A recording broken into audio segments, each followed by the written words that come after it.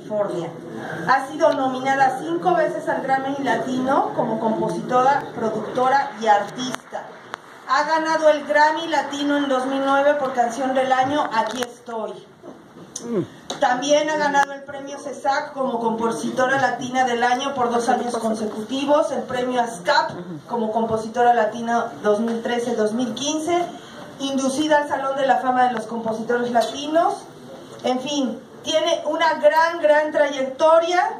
Ella es autora de muchos temas éxitos, como Antes que no de David Bisbal, Duele demasiado de David Bisbal, Lo pide el alma de David Bustamante, que ganó Olvidándote de Rey, Entre tu boca y la mía de Alex Ubago, Habana, Camila Cabello y Como Dios manda de la Santa Cecilia, por mencionar solo algunos. Actualmente Claudia se encuentra trabajando en los discos de Luis Fonsi, Malú, Liceni, Valentina París, Il Divo, Victoria La Mala, Merche, Natalia Jiménez eh, y J. Lo, por mencionar algunos. Y en breve iniciará la grabación en Los Ángeles de su sexto álbum como solista.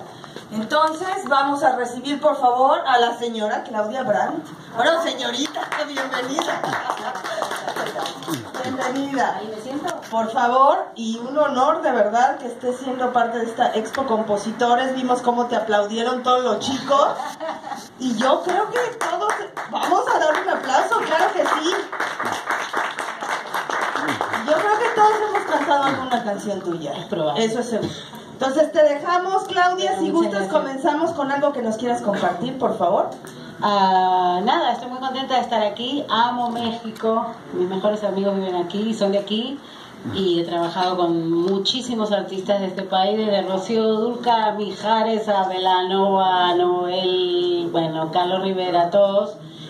Y me encanta estar aquí, estoy muy contenta, muy contenta de que esté ASCAP presente, y ahí están entrando y realmente me divertí mucho. Es interesante compartir con, con, con la gente que compone o que quiere componer eh, las dudas que tiene, ¿no? Y compartir la, humildemente la experiencia que uno tiene habiendo hecho todo lo que hice hasta ahora. Así que bueno, feliz de... Claudia, eh, por ejemplo, uno de nuestros íconos fue José Alfredo Jiménez. Por supuesto. José Alfredo, una de las peculiaridades que tenía es que grababa la música al mismo tiempo, bueno, componía la música al mismo tiempo que la letra. ¿Qué tan posible es? ¿Te ha sucedido eso? ¿Y tú qué haces primero, letra o música, o al mismo tiempo? Eh, bueno, un poquito como lo que estuve hablando recién, a veces hago las dos cosas a la vez y sale todo así como un chorro, la letra y la música. Eh, lo grabo en el, teléfono y después hago un track y lo grabo como corresponde. Eh, a veces eh, trabajo a una letra sobre una música que escribió a otro autor. Eh, a veces hago una música para que otra persona le ponga la letra y la situación en la que me encuentro más a menudo, que es la que más me gusta, es estar trabajando en el estudio con el artista. Eso es a lo que me dedico el 90, yo te diría el 95% del tiempo. Eh, y a veces cuando, dependiendo de la química que tenga con el artista, eh, ha sucedido a veces en las cuales nos sentamos a trabajar letra y música de principio a fin y terminamos la canción en media hora.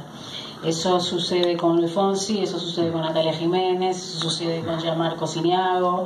Eh, esas son, son, son, son particularidades de, de, tener, de tener una experiencia vasta, de trabajar muchos años con la misma persona, saber exactamente qué quiere, saber a dónde van a ir las melodías. Entonces, eh, con algunos artistas en particular puedo terminar una canción en media hora y hay artistas con los cuales, eh, como comenté recién, yo trabajé con a mí me volaron a México a trabajar con Gloria Trevi hace mucho tiempo y estuve seis horas con ella en una habitación de hotel y no realmente yo no sabía qué hacer, no sabía qué hacer, no la entendía, no entendía lo que quería decir, no entendía lo que quería cantar, no entendía el personaje, no entendía nada. Y me fui un poco frustrada, no me deprimí, pero no me gustó, no me gustó pasar por esa experiencia. Y después, cuatro años después, Gloria me llamó y vino a mi estudio Hicimos una canción de principio a fin y fue el sencillo de su último disco y la pasamos increíble y la canción fue un palo.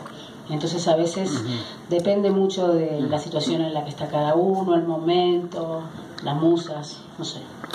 Es muy interesante lo que acabas de, de comentar de Gloria, porque es un reflejo de que el artista cambia. No vamos a decir que evoluciona, cambia. El Entonces, artista cambia y el compositor también. es lo que te iba a decir, a eso vamos. Cada, en cada situación, el artista te va enriqueciendo, te va aportando eh, su energía con ideas o cómo te aporta. ¿Cómo es que eso que en tanto tiempo haces una canción con él ahí?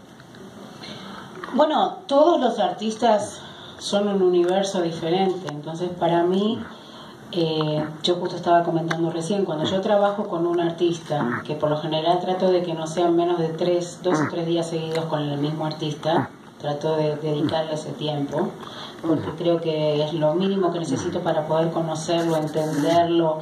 Tal vez la canción que escribimos el primer día no es tan buena como la que escribimos el tercero porque ya tengo un conocimiento más vasto de la personalidad, de lo que quiere decir, de la música que le gusta, lo que quiere hacer.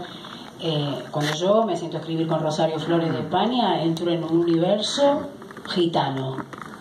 Cuando yo me voy a escribir eh, a Medellín, reggaetón, entro en el universo de Medellín de la música urbana.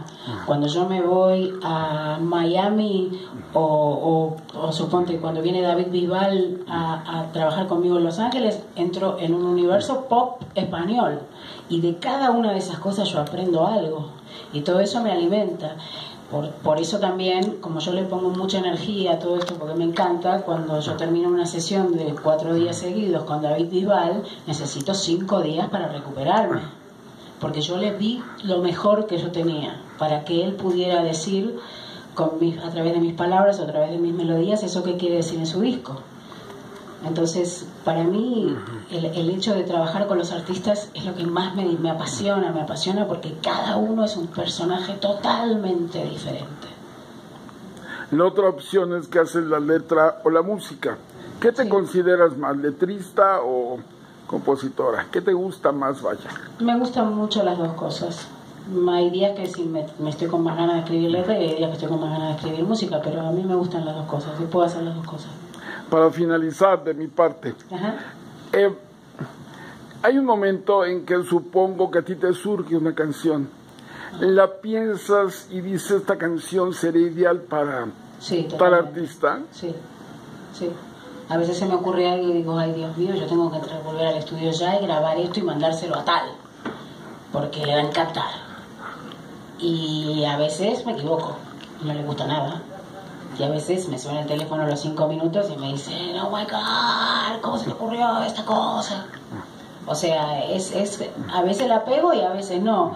Por suerte, en todos estos años, por lo general sí la pego, pero me ha pasado escribir cosas para artistas y decir, por ahí no tanto por el artista. Por ahí al artista le gusta y la disquera dice, no, pero no queremos ir por ese lado, mandame un reggaetón. Entonces, eh, bueno, tengo, yo tengo que acomodarme a, a, lo que me pida. Esa es una libertad que, que no tengo cuando estoy trabajando a pedido y que sí tengo cuando hago lo que se me da la gana, que es cuando escribo música para hacer un disco mío porque tengo ganas de hacer lo que tengo ganas de hacer. Perdón, ¿y un autor y compositor eh, requiere de un manager? ¿Es ideal? Eh, yo nunca tuve manager. A veces siento que si no lo tengo me muero porque tengo que lidiar con cosas que no me gustan. Uh -huh. Y a veces siento que alegría que no tengo uno que me esté diciendo lo que tengo que hacer. Así que es muy relativo. Tengo amigos que son compositores que tienen managers y están muy contentos. Tengo amigos que son compositores que tienen managers y se quieren matar. Eh, entonces yo por ahora me mantengo virgen al respecto y trato de arreglarme lo mejor que puedo. Gracias. Pero igual es importante que tengas el apoyo de la sociedad autoral y el apoyo de tu editor. Eso es importante. Gracias, Claudia.